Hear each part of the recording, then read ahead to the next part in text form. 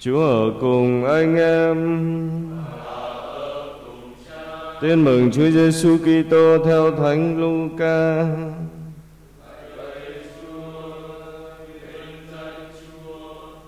Hàng năm cha mẹ Đức Giêsu chạy hội đền Jerusalem mừng lễ vượt qua. Khi người được 12 tuổi, cả gia đình cùng lên đền như người ta thường làm trong ngày lễ. Xong kỳ lễ hai ông bà trở về, còn cậu bé Giêsu thì ở lại Jerusalem mà cha mẹ chẳng hay biết. Ông bà cứ tưởng là cậu về chung với đoàn lữ hành, nên sau một ngày đường mới đi tìm kiếm giữa đám bà con và người quen thuộc. Không thấy con đâu, hai ông bà trở lại Jerusalem mà tìm. Sau ba ngày, hai ông bà mới tìm thấy con trong đền thờ, đang ngồi giữa các thầy dạy, vừa nghe họ vừa đặt câu hỏi. Ai nghe cậu nói cũng ngạc nhiên về trí thông minh và những lời đối đáp của cậu. Khi thấy con, hai ông bà sửng sốt và mẹ người nói với người, Con ơi, sao con lại xử với cha mẹ như vậy?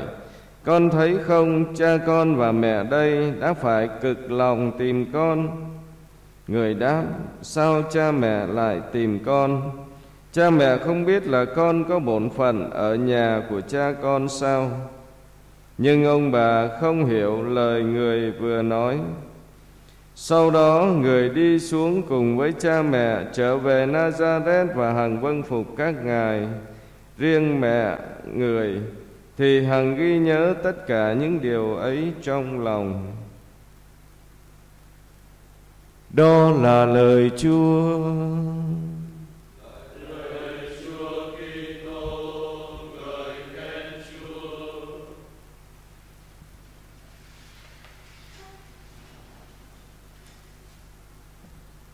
Kính thưa cộng đoàn, chúng ta biết gia đình Chúa Giêsu được gọi là thánh gia bởi vì ở đó chúng ta thấy thánh Giuse là đấng công chính, là người chuyên tìm thánh ý Thiên Chúa và thực thi theo thánh ý ấy. Còn mẹ Maria là người à,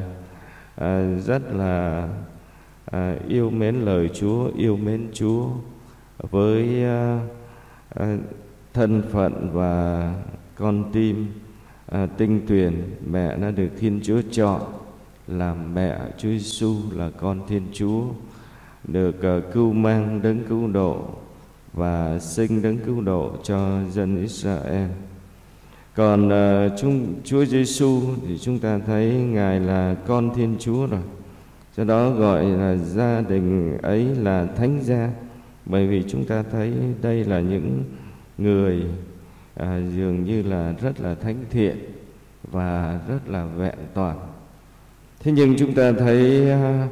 không phải là thánh gia mà không có những lo lắng không phải là thánh gia mà không có những đau khổ và cũng không phải là à, những người thánh thiện thì không bao giờ có đau khổ hay là vất vả trong lòng à, có thể nói à, đoạn tin mừng thánh Luca mà chúng ta vừa nghe cho chúng ta thấy được nỗi lòng của mẹ Maria mà à, dụng ý của phụng vụ cũng muốn cho chúng ta nghe bài tin mừng này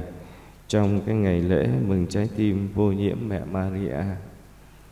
Kính thưa cộng đoàn, chúng ta có thể thấy được à, trái tim à, cõi lòng của mẹ Maria à, đối với Đức Giêsu ở trong cái à, biến cố của Chúa Giêsu à, ở lại Jerusalem và mẹ phải cất công đi tìm đến ba ngày trời. Và không chỉ chúng ta không chỉ thấy được cái sự vất vả của thánh Giuse của mẹ Maria nhưng cũng thấy được cái à, nỗi lo lắng à, nỗi lo lắng buồn phiền và đau khổ của một người mẹ à, khi mà lạc mất con.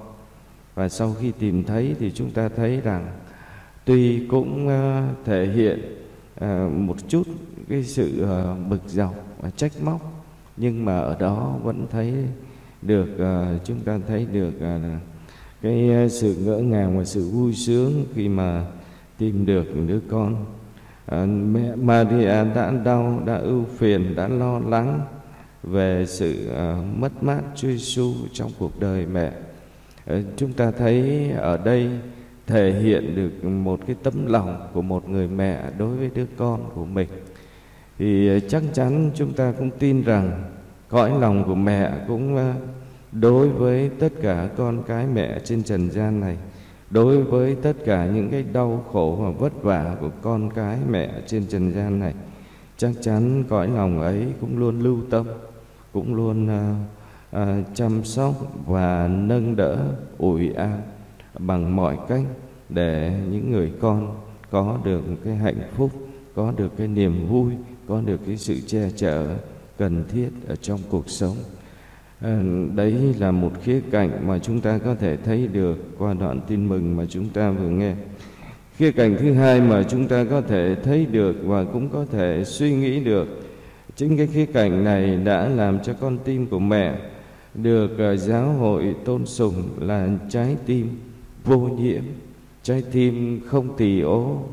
trái tim không tỳ vết trái tim đoạn tuyệt với tội lỗi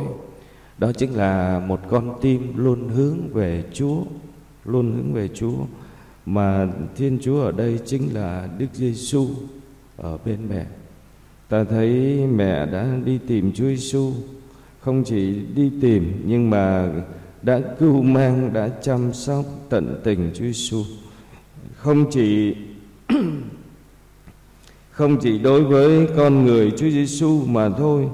nhưng chúng ta còn thấy rằng những lời Chúa Giêsu nói với mẹ những lời Chúa Giêsu nói với mẹ à, mẹ Maria hằng ghi nhớ tất cả những điều ấy ở trong lòng. Tức là một cõi lòng luôn hướng về Chúa luôn bận tâm về Chúa và luôn suy nghĩ về Chúa đã cho